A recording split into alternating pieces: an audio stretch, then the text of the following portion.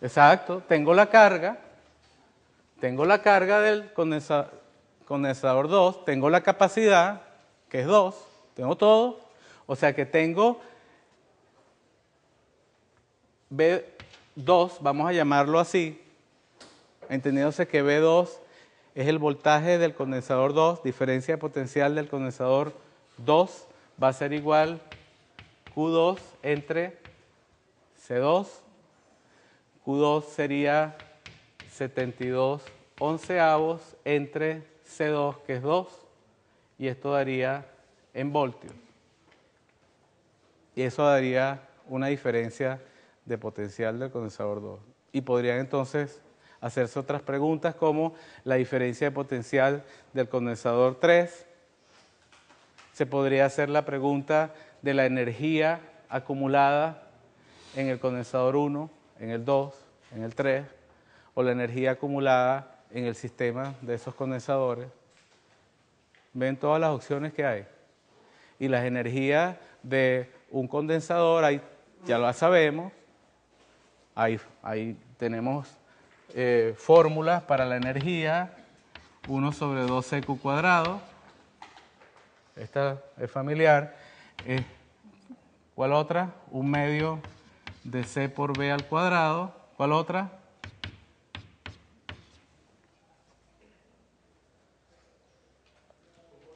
Q por b. Entonces con esta pudiésemos encontrar energías acumuladas en cada condensador, energías acumuladas en cada condensador equivalente, energías acumuladas en todo el sistema. Una, algo que ustedes pueden hacer es calcular la energía acumulada en cada uno de ellos, sumarla y compararla con la energía que se calcularía con el condensador equivalente. Eso tiene que dar lo mismo. Porque tienen el condensador equivalente, tiene un valor de capacidad y el condensador equivalente también tiene una carga. Entonces yo puedo encontrar la energía, se me pregunta la energía total del sistema, ¿para qué voy a sumar todas individualmente? Para eso calculo la del condensador equivalente y calculo la energía acumulada del condensador equivalente. Lo que pasa es que se podría uno eh, equivocar calculando el condensador equivalente. Entonces, pero se dan cuenta de todas las opciones que hay.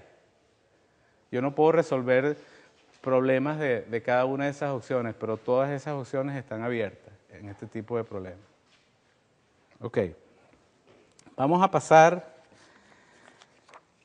a un, pro, eh, un problema donde hay un dieléctrico.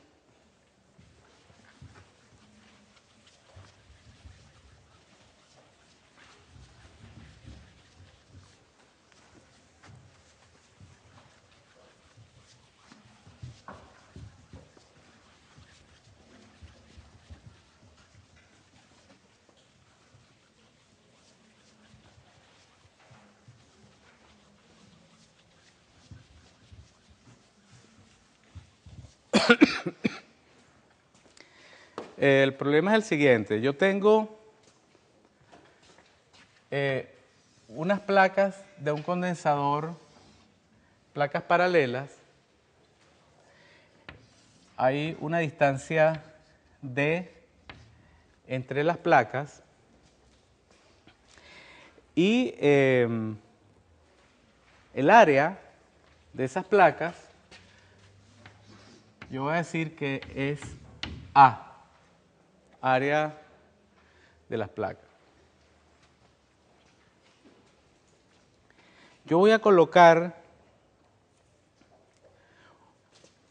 un trozo de dieléctrico que va a tener la misma área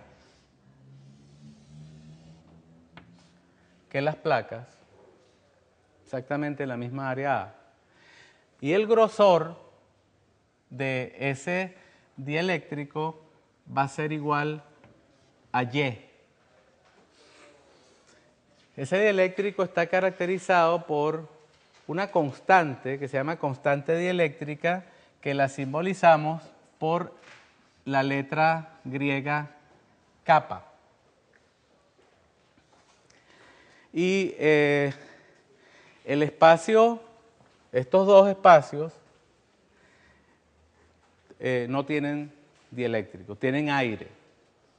La constante dieléctrica del aire es aproximadamente igual a la del vacío, que es aproximadamente igual a 1. Entonces nosotros, nosotros sabemos que cuando yo coloco un dieléctrico, el campo dentro del material dieléctrico es menor que el campo que existe en el aire. Si en el aire existe un campo que es igual a E sub 0, porque estas placas en algún momento van a estar cargadas. Esta placa, por ejemplo, con carga Q y esta con carga menos Q, es un, es un condensador.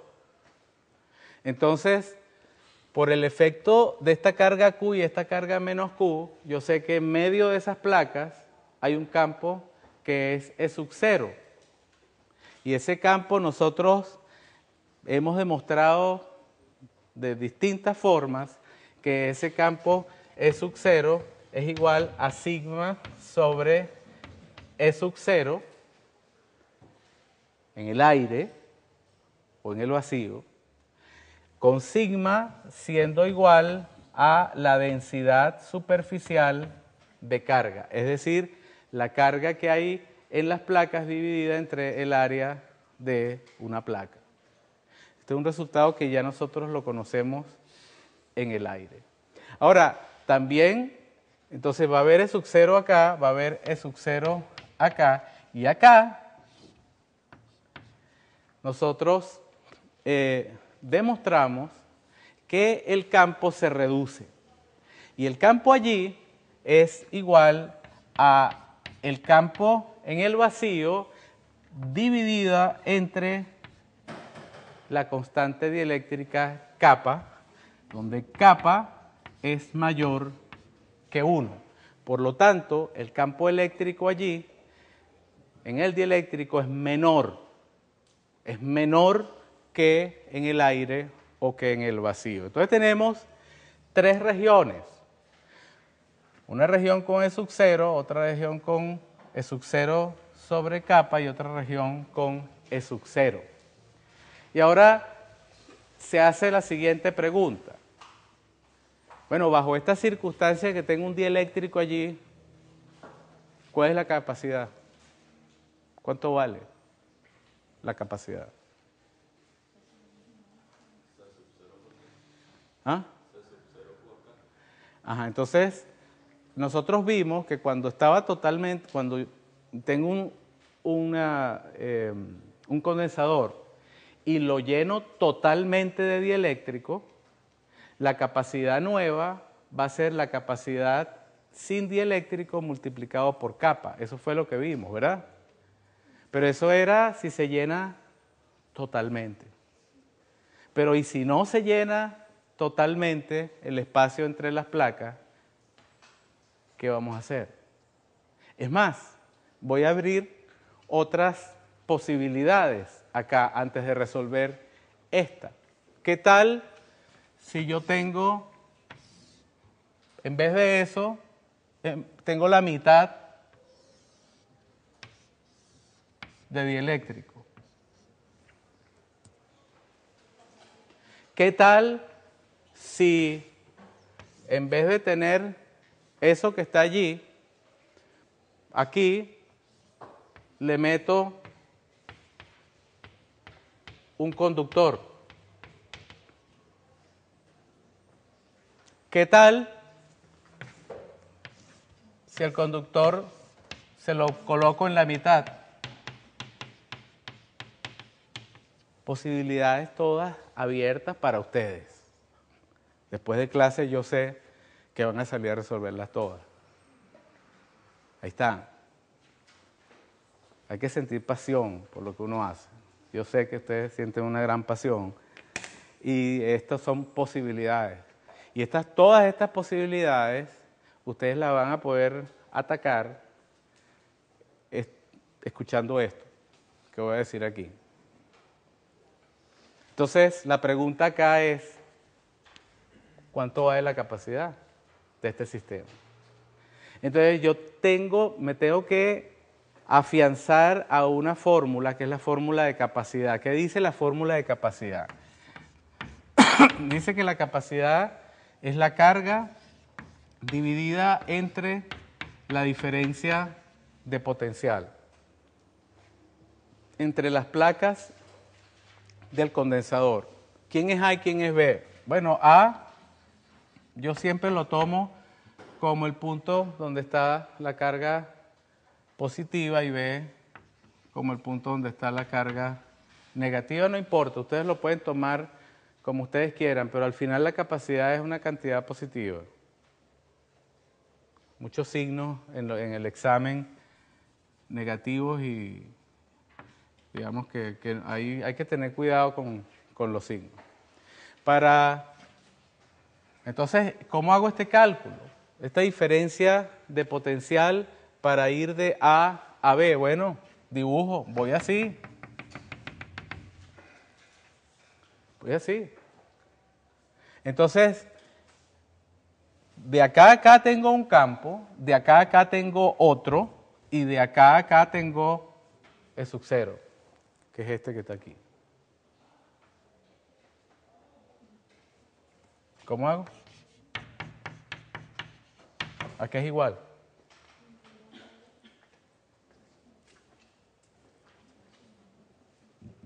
Vamos a llamar por los momentos a esto, a esta distancia A y a esta distancia B. Ahora, ahora sí, ustedes sí me pueden decir cuánto vale esa diferencia de potencial.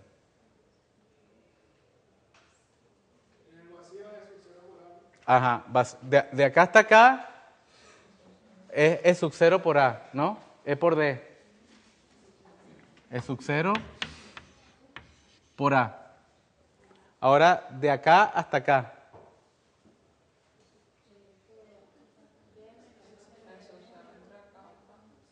Es sub 0 entre capa, porque ese es el campo que existe acá, y esta distancia dijimos que era Y. ¿Ok? Entonces, más es sub 0 entre capa por Y, más. Ahora la diferencia de potencial entre acá y acá.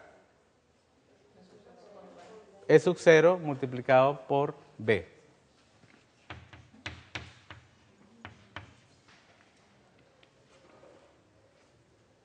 Fíjense que acá yo puedo escribir esto de esta forma.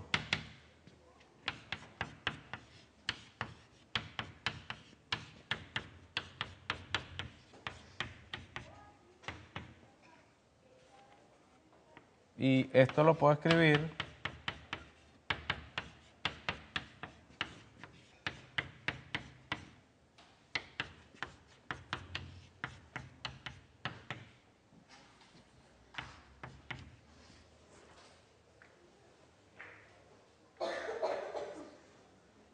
A más B, A más B es B menos Y. Porque, ¿Por qué lo quiero escribir así? Bueno, porque lo que yo medí originalmente era la distancia entre las placas y yo construí el dieléctrico y sé cuánto es el grosor, sé cuánto es Y. Entonces tengo que reducir mi problema a cosas que yo he medido. Ok, entonces todo está expresado en función de la distancia original que hay entre las placas y del grosor del dieléctrico que yo estoy metiendo allí. ¿Qué hago? ¿Qué puedo hacer yo para calcular la capacidad? C es Q sobre B a B. Y B a B es esto. Entonces yo puedo decir, esto es E sub 0 D menos Y más Y sobre capa, ¿verdad?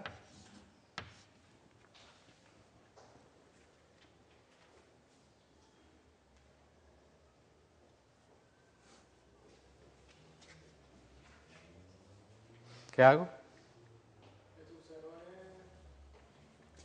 El sub cero es esto, ¿verdad?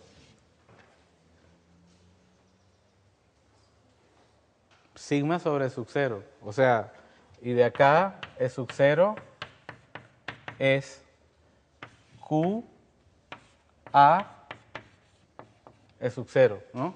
Entonces, este sub cero lo coloco acá.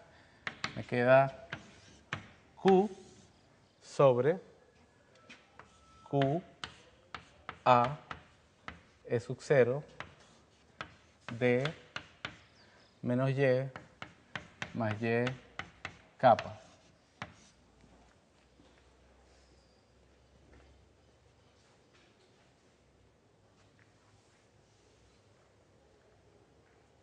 Q se va como debe ser, porque la capacidad ahora depende. Fíjense, el área tiene que estar arriba porque la capacidad es mayor mientras el área es mayor. Siempre es así. El sub 0 debe estar arriba. O sea que queda muy parecido de sub 0 a, y en vez de ser el sub 0 a entre D, que es la capacidad de un condensador sin dieléctrico, esto va a estar modificado. Va a tener la D, pero va a estar modificada por la introducción del dieléctrico. Aquí está la D, pero hay una modificación allí, entonces va a ser D. Déjeme ver cómo, cómo quiero escribir yo esto.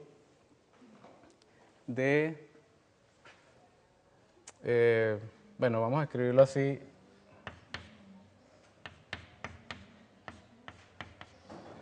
Voy a...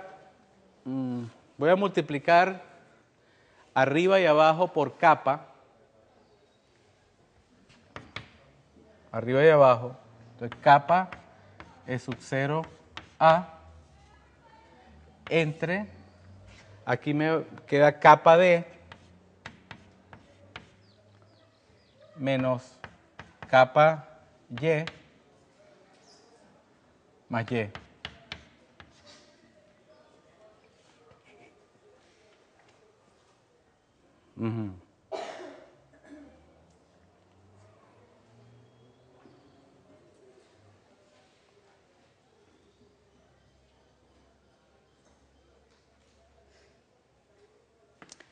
Muy bien. Esa es la capacidad. Ahora, ¿saben qué? Nos, yo digo que nosotros podríamos ya, déjenme una cosa. Menos y capa más y, sí, correcto. Yo digo que nosotros podríamos resolver este problema eh, aplicando los conocimientos que tenemos de condensadores en serie.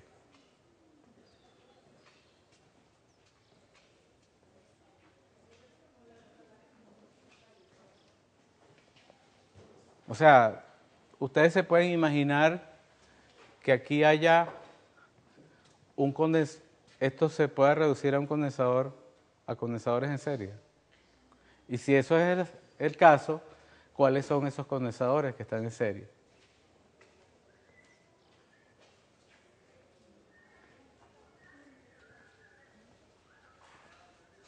Y si están en serie y hago el cálculo de la capacidad equivalente, me debería dar esto. Entonces hay que probar. Fíjense que tenemos esta sección donde hay un campo, seguida de otra sección donde hay otro campo, seguida de otra sección donde hay otro campo. Sí, sí. Vamos a, vamos a suponer que cada una de esas, hay tres regiones, vamos a suponer que cada una de esas regiones es un condensador. Vamos a suponer que están en serie. Y vamos a suponer, y vamos a aplicar la fórmula de condensadores en serie para ver si la capacidad de ese sistema que yo estoy planteando que son tres en, serie, da lo mismo que esta. Vamos a hacerlo. Entonces lo que yo estoy diciendo es esto. Ah, esto como que es así. Tengo tres condensadores en serie. ¿cuáles serían las propiedades de esos condensadores? Bueno, este tendría una distancia entre sus placas igual a... No tiene dieléctrico. Este tendría una distancia entre sus placas igual a Y y sí tiene un dieléctrico con constante capa. Y este no tendría dieléctrico y tiene un ancho igual a B. O sea, una distancia entre sus placas. Todos tienen área A. Todos tienen área A. Bueno, ¿cuál sería la capacidad de este? ¿Cuál sería la capacidad de este? ¿Cuál sería la capacidad de este?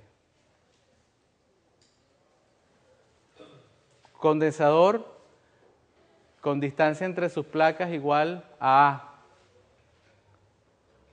Y lo que tiene es aire. ¿Cuál es la capacidad? ¿Es sub cero? ¿El área? Así, ¿verdad? Ya. La de este sería E sub cero, el área entre B.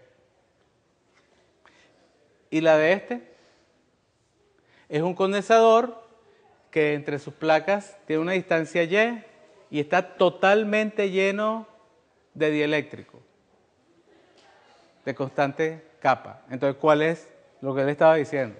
¿Cuál es la capacidad de este condensador? La capacidad de él sin dieléctrico multiplicado por capa, o sea, capa multiplicado por la capacidad de él sin dieléctrico, que sería E sub 0 A entre Y.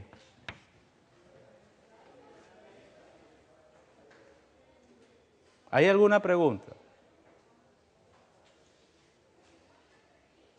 Estamos suponiendo que cada, uno, cada una de estas regiones es un condensador.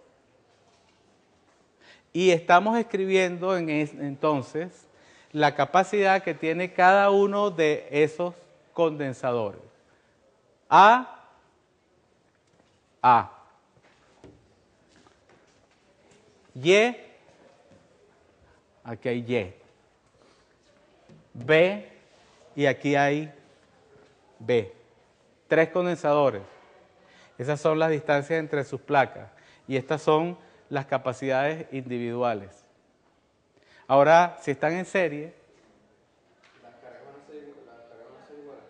si están en serie las cargas van a ser iguales, pero yo lo que quiero es encontrar ahora la capacidad de un sistema de tres condensadores en serie. ¿A qué es igual eso? 1 sobre capacidad equivalente 1 sobre C1 más 1 sobre C2 más 1 sobre C3.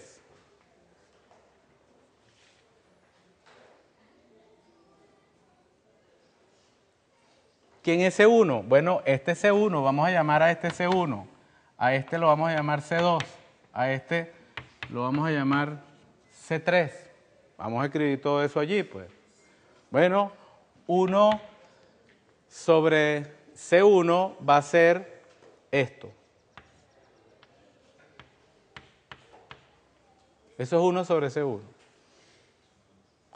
Más 1 sobre C2 va a ser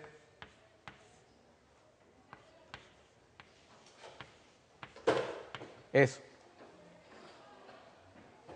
El inverso de esto. Y el inverso de esto va a ser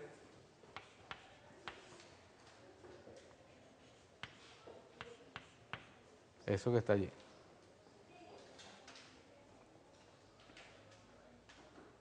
Bueno, y ahora ustedes saben cómo hacer esto.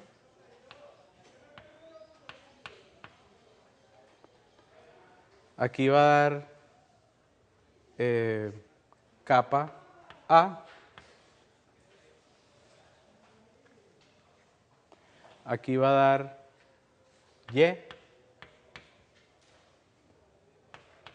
Y aquí va a dar capa B.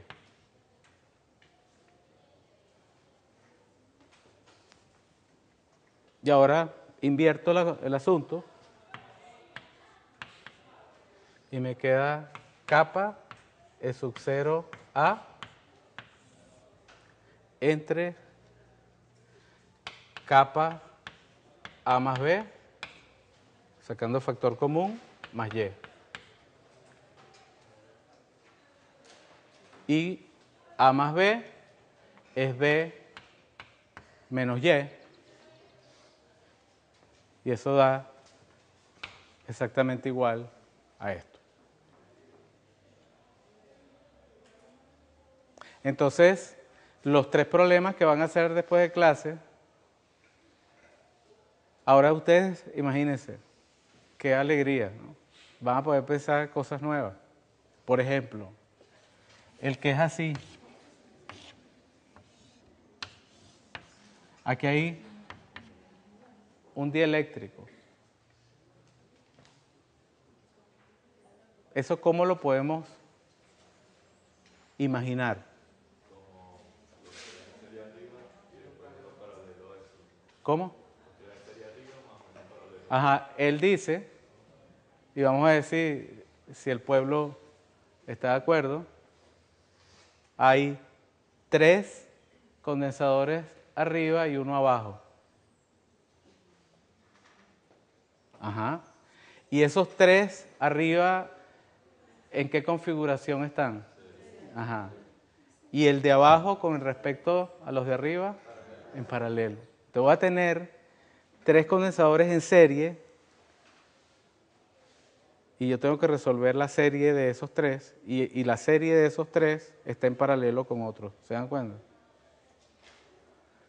Entonces yo no les voy a privar a ustedes de esa, de esa alegría de que ustedes puedan resolver este, este problema. Y ahora háganlo, por ejemplo, si esto en vez de ser un dieléctrico es un conductor, yo quisiera que pensaran cómo se aborda ese problema. Con el conductor hasta la mitad y después llenándolo todo.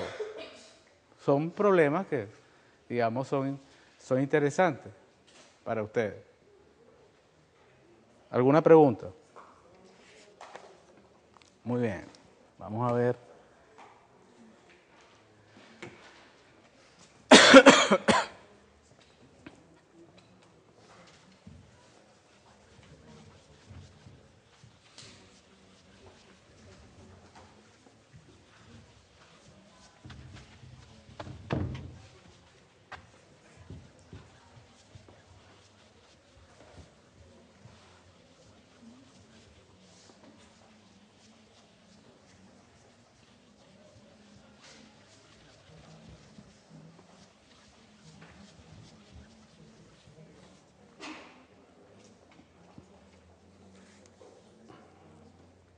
Ahí hay dos conceptos que maneja el, libro de C.R. Semansky, que son el concepto de carga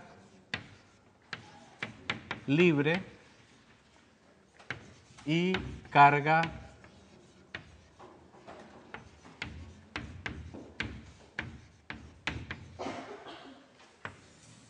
y carga enlazada. Seguimos en el tema de condensadores con dieléctrico. Ya ustedes saben lo que son estos dos conceptos. Lo que pasa es que yo no, no les di nombre. No le di nombre a eso.